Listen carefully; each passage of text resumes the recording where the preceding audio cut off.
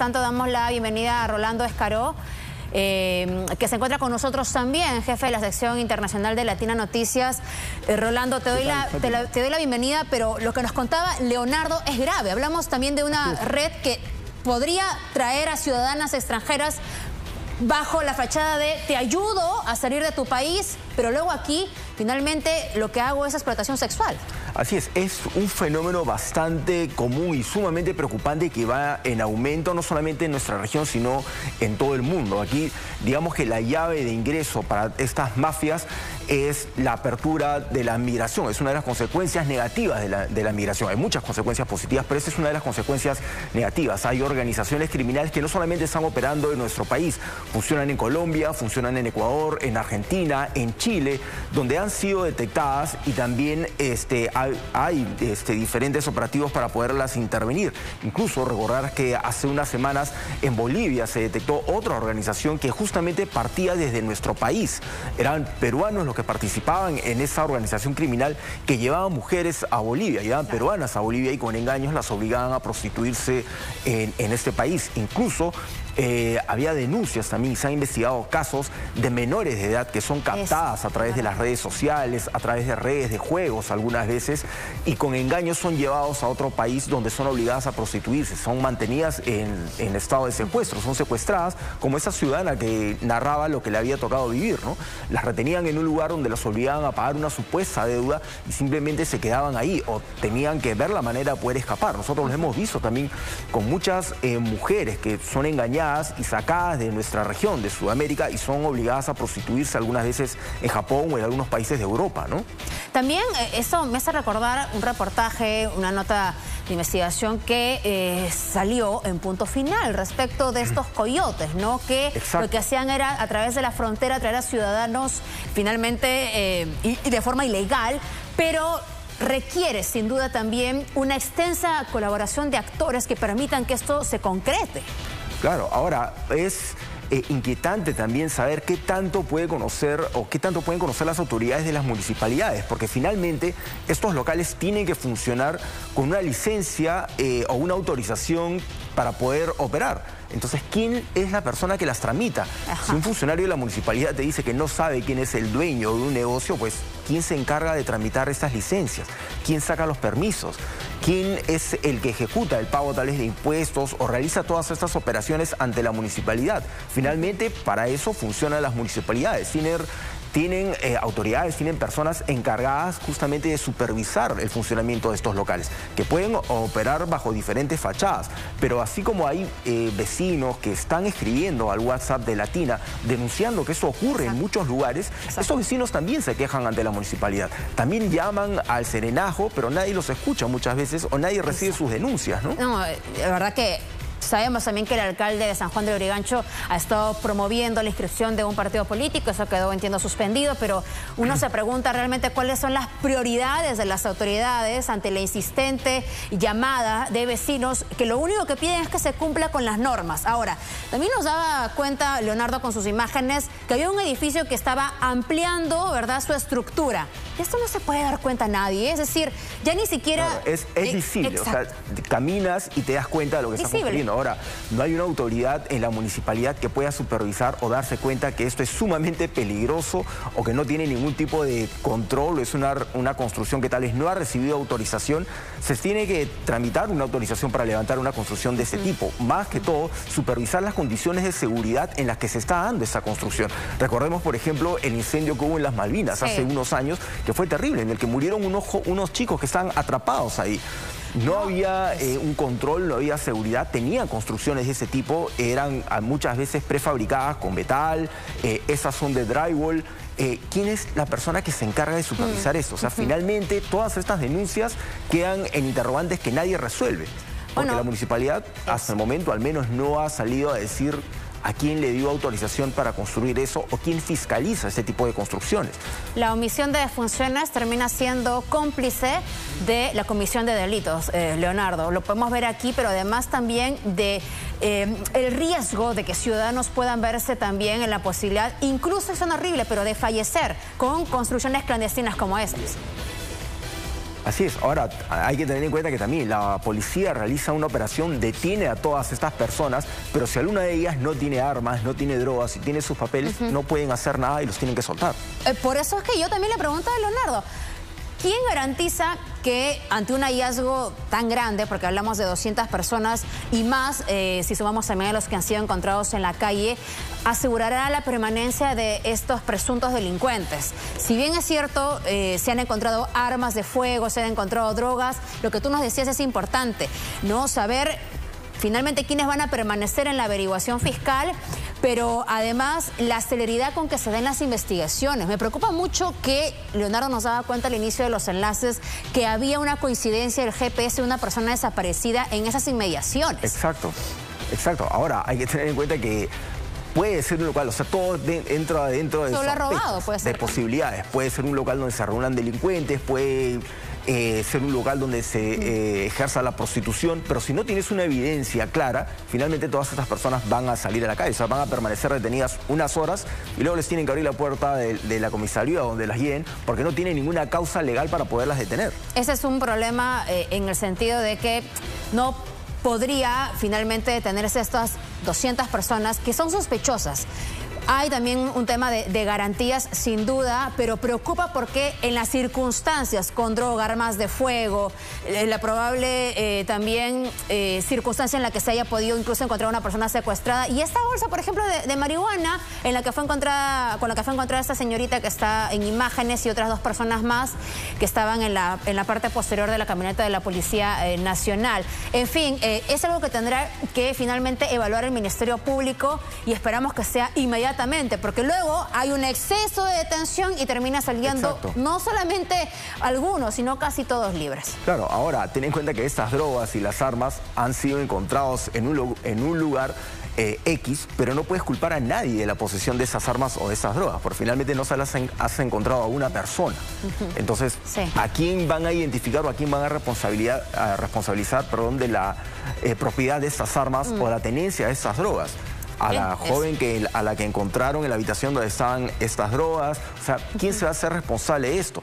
En este momento, tal vez la única responsabilidad apuntaría al propietario de este local pero has escuchado que uno de los trabajadores decía que no lo conoce, otro tal vez lo conozca, pero por miedo no va a decir quién es. Eh, pero finalmente toda esta información se supone que debería tenerla la municipalidad. O sea, deberían saber quién es el propietario o al menos el representante legal. Mm, entiendo que ahora serán pruebas de absorción atómica para poder detectar quiénes tienen más un, reciente uso de armas de fuego. Por allí también las pruebas eh, de las huellas digitales. En fin, y también eh, entiendo que se tendrá que hacer una verificación de los antecedentes requisitorias, pero hay un punto también adicional. Como se trata en su mayoría de ciudadanos extranjeros, probablemente muchos de ellos ni siquiera tengan alguna coincidencia con investigaciones o registros nacionales, Leonardo. Ese es otro, digamos, otro, eh, otra piedra en el camino que encuentra eh, la justicia peruana, entiendo, cuando quiere hacer averiguaciones de este tipo para poder detectar a las personas que se encuentran involucradas. Eh, el cruce de información que sería hasta necesario con otras averiguaciones en el extranjero.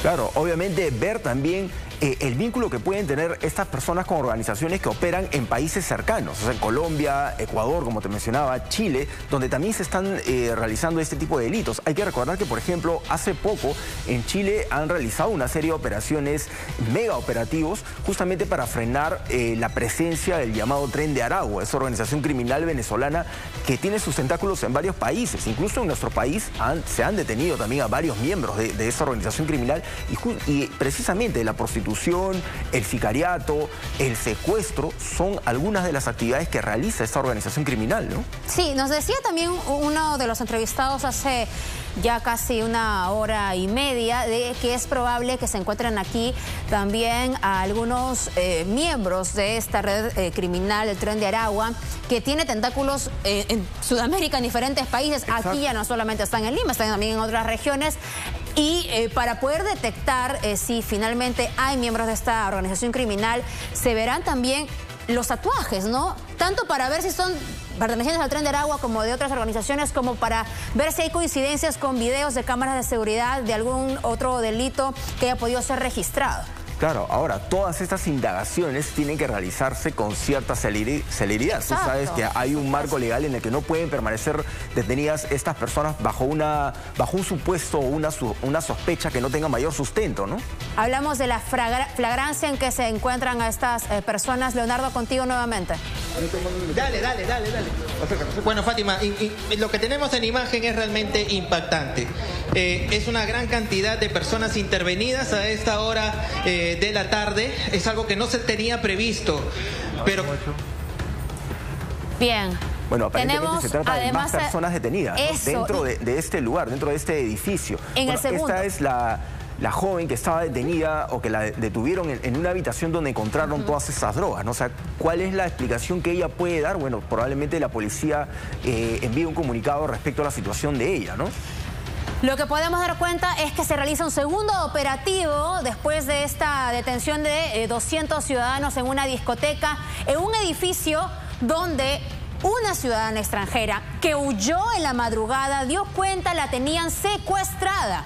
Segundo operativo entonces en la misma zona de San Juan de Urigancho, en un edificio donde habrían más personas secuestradas. El edificio es este que usted ve ahora, hay personas en el techo, se están haciendo las verificaciones, detenciones y además un lugar donde se venía construyendo con material prefabricado más y más habitaciones, Leonardo. Aquí hay que tener en cuenta que es vital lo que puedan, la información que puedan dar los vecinos de la zona. Finalmente ellos viven ahí y se pueden dar cuenta tal vez del movimiento de personas que hay en ese lugar. Si es que hay venta de drogas, si es que hay prostitución, si es que se trata de delincuentes, si es que estas construcciones forman parte de algún eh, burdel clandestino tal vez. Eh, hay muchas circunstancias que tal vez deben investigar ahí, pero como te mencionaba, tal vez dentro de toda, eh, todo este embrollo que hay, gran papel tiene que ver la municipalidad, o sea, saber quién es el que realiza todas esas operaciones para que estos lugares puedan funcionar. Sí, vemos ahí además, nos decía Leonardo, y nos decían también por el WhatsApp de eh, Latina al que nos están escribiendo y pueden seguir escribiéndonos que no solamente era el primer local, sino que habían varios que funcionaban clandestinamente, ¿no? Con la fachada de restaurante campestre y sin embargo, lamentablemente ahí eh, se eh, realizaban más bien otro tipo de situaciones. con Leonardo Cabrera, que está en el lugar, que nos, nos tiene más información sobre esta segunda intervención. Leonardo. ¿Cómo están? ¿Cómo están? Así, Fátima Rolando. Bueno, Latina Noticias tuvo esta información temprano. Esta mujer que aparentemente fue secuestrada en este edificio que ustedes han visto.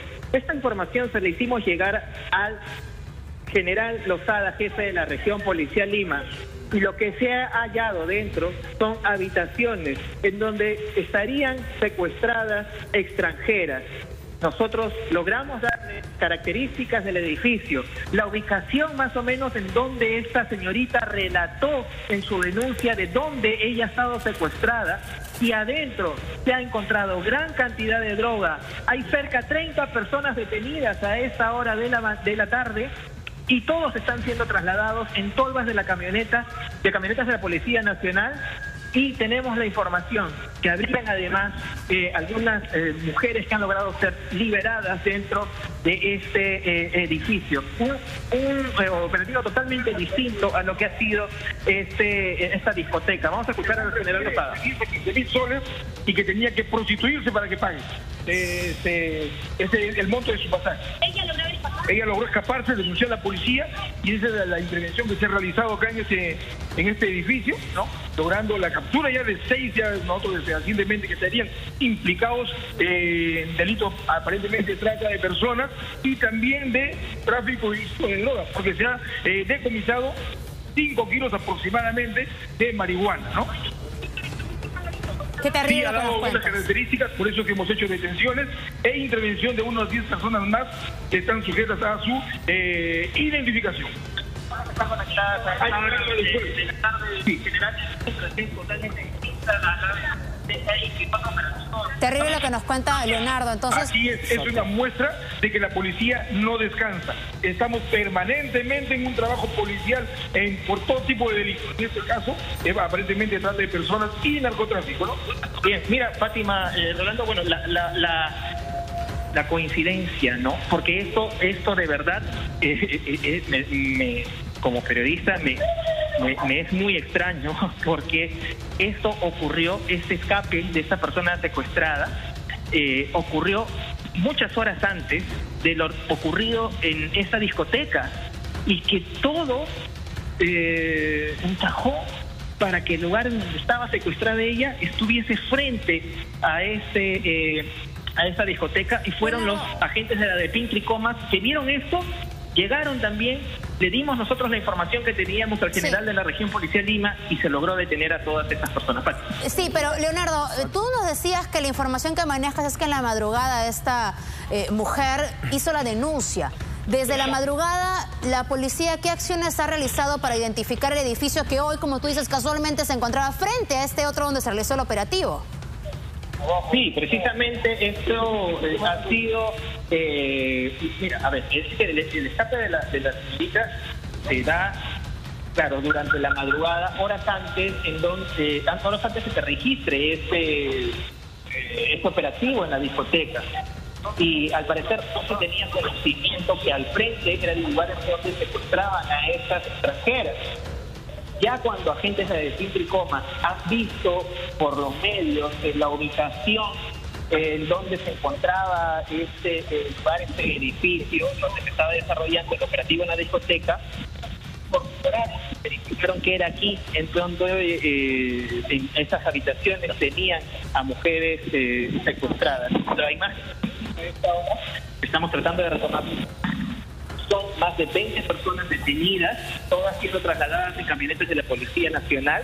Además, que se está encontrando droga en un edificio adaptado para la eh, habilitación de más cuartitos. Un policía acá me dice, es sumamente complicado llegar hasta ahí, todo está lleno de divisiones y estas personas estaban escondidas tratando de escapar. ¿Cuántos les piden a cada una para poder liberarlas? Entre 10 mil y 15 mil soles son explotadas sexualmente aquí adentro. Muchos se preguntarán, pero ¿cómo? ¿Por qué? ¿Por qué quizás no escaparon cuando se iban a alguna zona conocida por la prostitución? Es que estas personas las explotaban dentro de este edificio. Ellas no tenían que salir y muchas de ellas, según la manifestación de la víctima, estaban incluso hasta amarradas para evitar que pudieran escapar. Y las explotaban dentro de estas eh, habitaciones. Y eran estos hombres los que cobraban eh, el dinero. Y supuestamente cuando llegaban al tope de 15 mil les prometían liberarlas, pero eso sabemos que no es así. Bueno, sin duda es el primer paso, obviamente ese, para desarticular una gigantesca red probablemente de trata de personas y de prostitución eh, que incluso eh, opera, lógicamente, desde nuestro país con delincuentes que están en Venezuela y en otros países para poder traer a estas mujeres. Hay que tener en cuenta que muchas de ellas siguen una ruta desde Venezuela, Colombia, Ecuador y luego el ingreso a nuestro país. Algunas se quedan en Colombia, otras en Ecuador y otras llegan a Perú. Hay algunas que continúan el viaje para seguir hasta Chile, o ir a Chile, Argentina, o incluso se desvían hacia Bolivia. Son redes enormes de, tráfico de personas que vemos que tienen la, misma manera de operar, o sea, organizaciones que están interconectadas, probablemente el testimonio de las mujeres que encuentren aquí, o como esta mujer que denunció que la tenían secuestrada en ese lugar, puedan servir para identificar a las personas que forman parte de esa organización que probablemente tenga personas que estaban ahí en ese local. Porque ellos, sin embargo, si eh, hay mujeres a las que eran obligadas a prostituirse en esas habitaciones, hay algunas de ellas que probablemente estén en ese local, donde también este, se estaban prostituyendo con, con los clientes que estaban ahí. Exacto. Quería justamente preguntarle eso a Leonardo, si a esta hora de la tarde eh, la policía puede confirmar que ha encontrado a mujeres secuestradas, Leonardo. Sí, sí, sí, claro que sí. Es una mujer que logró escapar de este edificio. Ya en estos momentos se están llevando a todas las personas intervenidas, detenidas, no, detenidas. Nosotros vinimos por el operativo de la discoteca y obtuvieron esta información de una mujer que había logrado escapar de un edificio frente a este local. Los policías han ingresado, policías de la división de tratas de personas y de, trata de personas y de la división eh, de criminalística logrando eh, hallar que dentro se escondía droga. Estos hombres estaban también escondidos en varias habitaciones. La formación que se ha tenido es que habrían eh, estaban secuestradas por esos sujetos. Se están sacando en estos momentos cuadros de Pablo Escobar, de Tony Montana, eh, están sacando una serie de, artículos curiosos que tenían en estas habitaciones, ¿verdad? Y que, eh, bueno, corrobora toda la información. Aquí, conversando con el general Rosada, me dice, ella ha logrado escapar a tiempo. Y gracias a esta persona valiente que logra escapar y denuncia ante la policía, no solo logran eh, descubrir todo lo que era el búnker de San Juan del Origancho en la discoteca, sino un lugar en donde eh, tenían secuestradas Sí, y, es terrible la, descripción de los hechos que nos eh, informas, Leonardo, según el testimonio de esta ciudadana secuestrada, ¿no? Decía Leonardo que en ocasiones o por algún determinado tiempo e, ellas se encontraban amarradas sin la posibilidad de salir constantemente explotadas dentro de este edificio con eh, también, digamos, la condición de terminar de pagar una deuda que decíamos también puede ser una deuda infinita porque si os gustan le aumentan intereses y total que no te liberan hasta que finalmente ellos deciden. Así es, esas organizaciones operan lógicamente de esa manera. Inicialmente fijan una tarifa que tiene que pagar la mujer que está secuestrada, pero después empiezan a agregar gastos como la habitación donde vivía, la comida, la seguridad, hasta que esa deuda se haga interminable. Ahora, hay que tener en cuenta que en otros países donde operan organizaciones similares, las mismas mujeres que son captadas e inicialmente secuestradas, si se ganan la confianza de esa organización criminal, ellas pasan a convertirse en administradoras de otras mujeres que están secuestradas.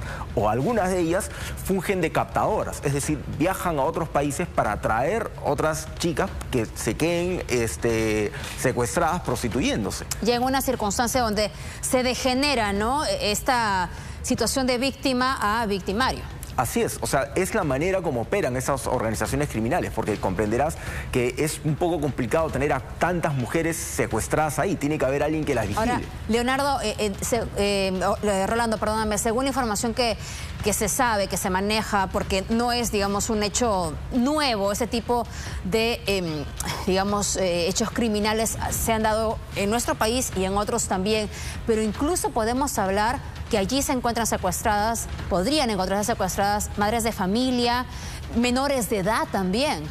Así es, o sea, parte del funcionamiento de esas organizaciones es ese. Las captadoras tienen esa misión, no solamente hay captadoras, hay captadores también que se encargan de traer chicas, engañarlas, como hemos visto muchas veces, o sea, menores de edad que desaparecen porque tenían contacto con un, con un ciudadano al que habían conocido a través de redes sociales o a través de algún juego y de esa manera las engañan para poderlas captar, ¿no?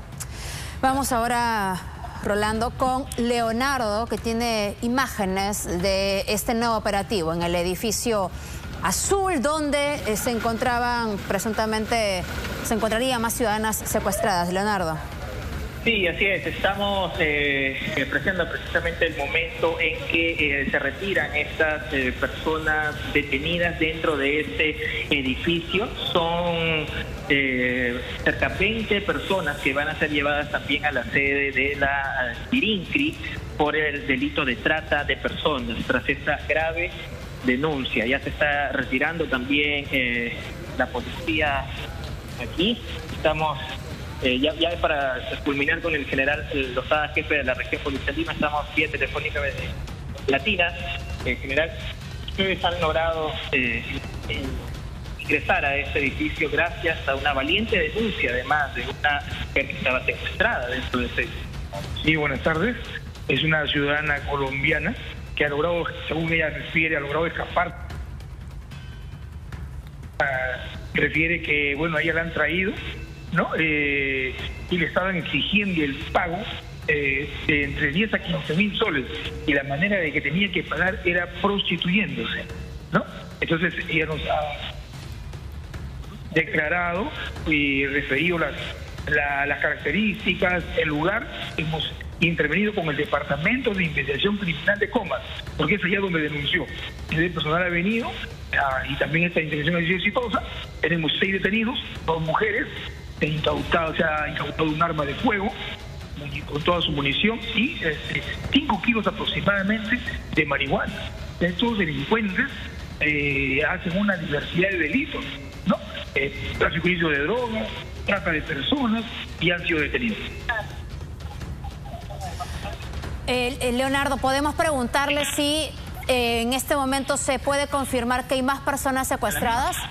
Así es, la policía está siempre eh, vigilante, en constante patrullaje y cuando recibimos denuncias así de esta naturaleza, y por eso aprovecho de su medio, para decirle a la población que confíe en nosotros, que nos den la información, que denuncien y nosotros vamos de manera inmediata a reaccionar. Hay algunas mujeres también que han encontrado. Sí, hay dos detenidas y hay otras que están en proceso de identificación y vamos a utilizar muy bien la denuncia que hizo esta, esta ciudadana colombiana para poder incriminar no contundentemente a los responsables.